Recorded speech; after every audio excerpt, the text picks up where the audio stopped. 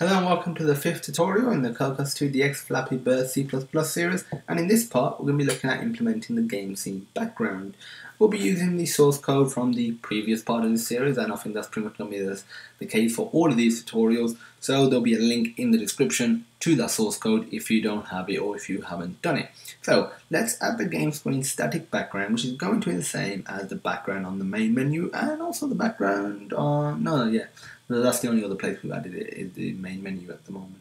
So we want to go to gamescene.cpp I'm opening within the Xcode IDE and then here I'm going to do auto background. Actually you know what? It's going to be a lot faster if I just literally copy and paste it from here. We've already done it we're not doing anything special with it might as well copy and paste it. That's also a good habit to get into. Reuse code. If it's already there, you know it works, and it's the same or a bit of modification, just reuse it. And before we add the scrolling pipes, we need to make the scene into a physics scene as we will use the built-in physics engine for collision detection. We're not going to actually be doing any sort of pipes in this tutorial, so for just clear that up, but we still need to set it up in preparation. So in here, we're going to do private Cocos 2D physics world. Is IntelliSense going to pop up? It is indeed. Asterisk scene world. So this is just a local instance of the physics world. Then we're going to have a method. We'll create that first. Void set physics world. And this is going to take uh, Cocos 2D physics world. Call it asterisk world. And then in here we're gonna we're just gonna do inline functions. It's gonna be very simple. We're just gonna assign world to scene world so we can modify the modify the physics world later on if we need to. And then we're going to go to our create scene method. And what we're going to do is instead of using create we're going to use create with physics only need one set of brackets. The next thing I'm going to do is scene, get physics world, set. Debug draw mask, physics world, debug draw all. You generally won't want this in an actual game. This is just so we can see the physics bodies and where they are and how they are formed. So we can actually see collision detection. And this is basically good for debugging as the name suggests right here. Debug draw all.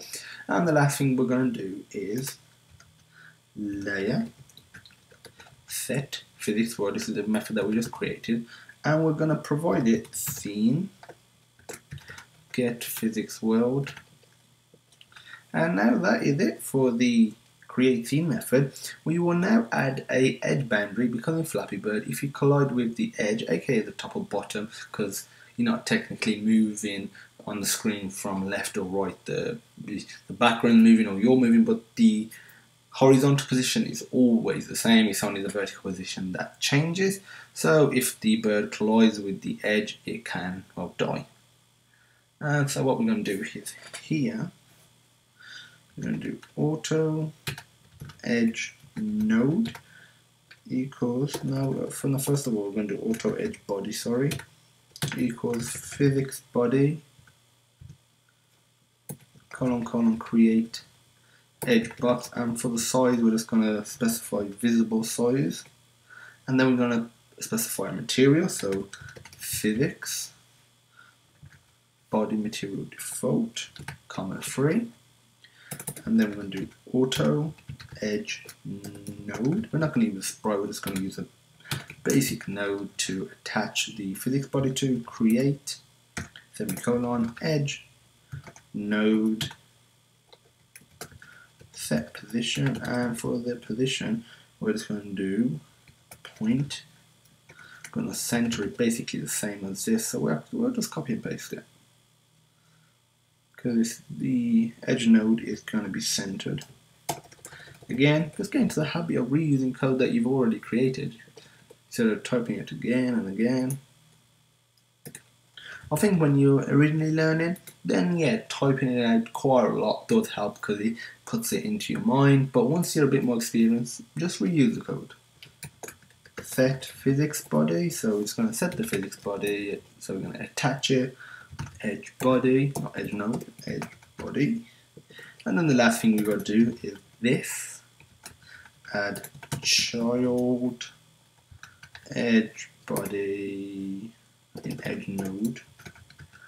And now if we run this, we'll get the simulator, we'll get the splash screen, that'll go to the main menu, we'll click the play button and we'll have a game scene background plus a red edge box drawn, or at least that's what I hope.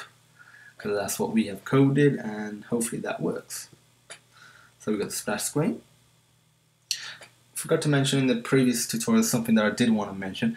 These are the artwork in this game are just placeholders. We it's a mixture of something that we just quickly uh, created for this series, and it's a mixture of artwork from old games. So for that reason, it obviously won't look the best, but this series isn't to create the artwork of Flappy Bird, but to actually program Flappy Bird. So if we click play, we get the game screen and we get the background and plus we get the edge box so physics bodies can collide with it. That is it for this part of the series. In the next part we're going to be looking at the pipe class creation.